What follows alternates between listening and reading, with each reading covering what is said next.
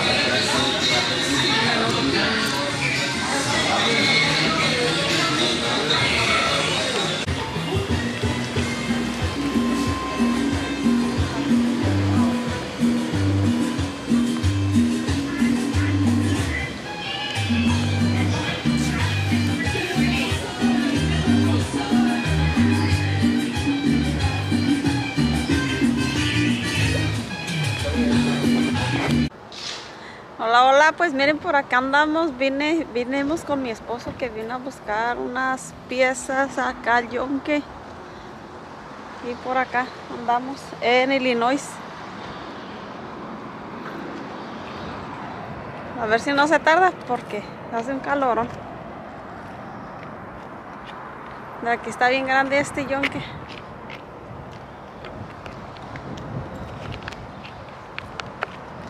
Es que se nos descompuso la ven y no sé qué unas mangueras creo que se le rompieron. Y ahí anda buscándolas allá adentro, miren allá, los carros. Por ahí anda adentro. A ver si no se tarda. Y le digo que ya nos descompuso la ven y desde cuándo está ahí descompuesta. Y dijo que iba a ver, a ver si encontraba unas mangueras que se le reventaron. Porque está tirando el antifriz y a ver si las encuentro ahorita por allá. Ahorita andamos como 40 minutos lejos de la casa.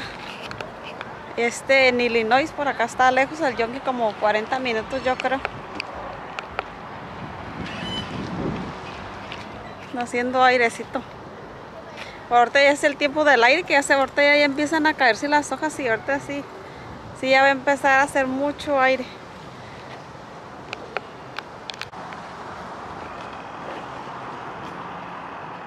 Por aquí está bien grande este yonque, grandísimo. Más que mi esposo no nos quiso llevar, creo que aquí nos esperábamos. Pues mientras aquí ahorita a ver si no tarda.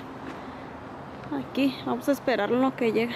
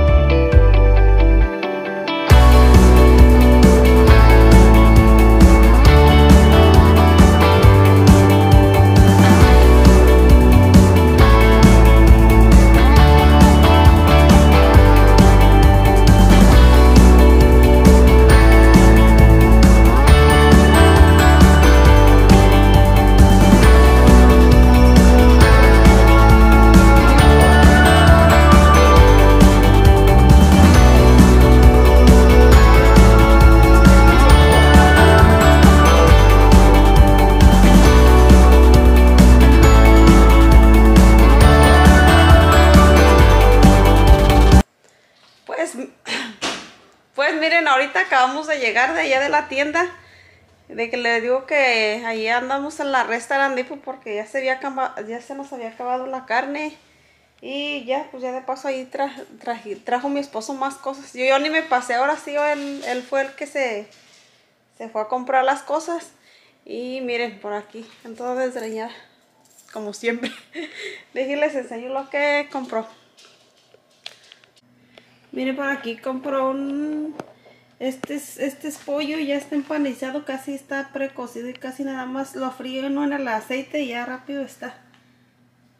Compramos una, compró una caja de esta y compró una bola de carne y este, una caja de filete de pescado y una caja de huevo y una bolsa de camarones, una leche y una caja de una caja de pollo. Ahora sí que todo dice que todo está bien caro. Todo está bien caro así se vio toda la, toda esta es una caja de son de pollos enteros. Y pues los voy a guardar en bolsas y ya cuando, conforme los ocupe pues voy a ir sacándole pues ahí.